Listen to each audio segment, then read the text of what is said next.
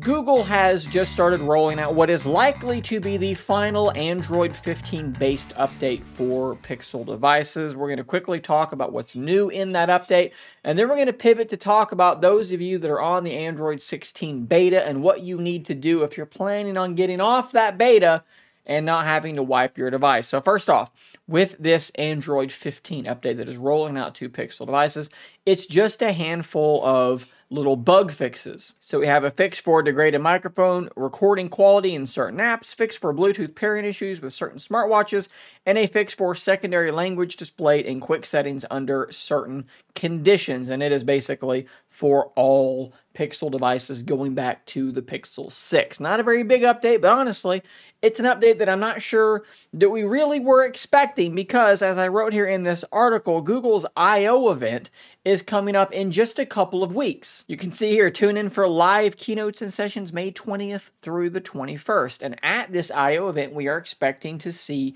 Android 16 and for Android 16 to begin rolling out to everyone, to your Pixel devices around that time. So the fact that we got this update with 16 sort of bearing down was kind of surprising. So for those of you that are on the Android 16 beta, you should be running Android 16 beta number 4 if you're thinking about getting off of this beta track now without having to wipe your device. Here is uh, as far as the best way I can put it, what you need to know. If you go to the google.com slash android slash beta devices page where you can opt in and opt out, you can go ahead and opt out now on your device that is enrolled in the beta. But what's going to happen is you're going to receive the Android 15 system update. And what that's going to do is it's going to wipe your device. It's going to factory reset it. And that's probably not what you want to do.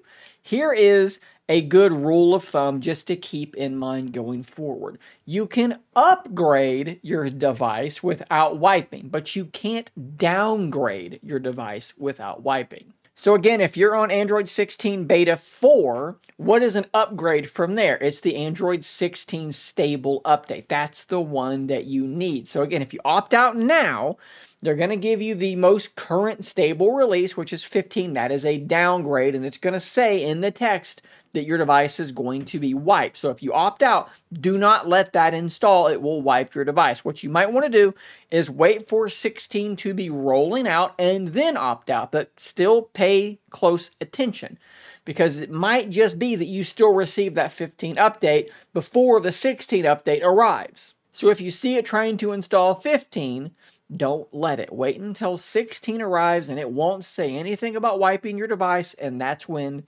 you're okay. Now, if you wait too long, it's possible that they're going to start another beta set of releases because the quarterly platform release, the first quarterly platform release for Android 16, won't be that far from now, and that beta will begin relatively soon.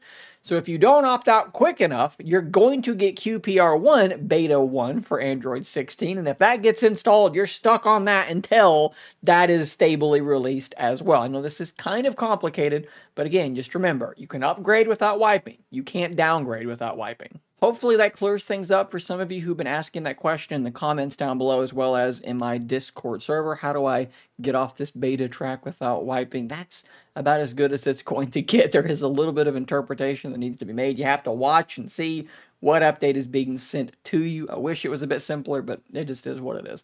Guys, thanks for watching. Subscribe for more content like this, and until next time, stay nerdy, my friends.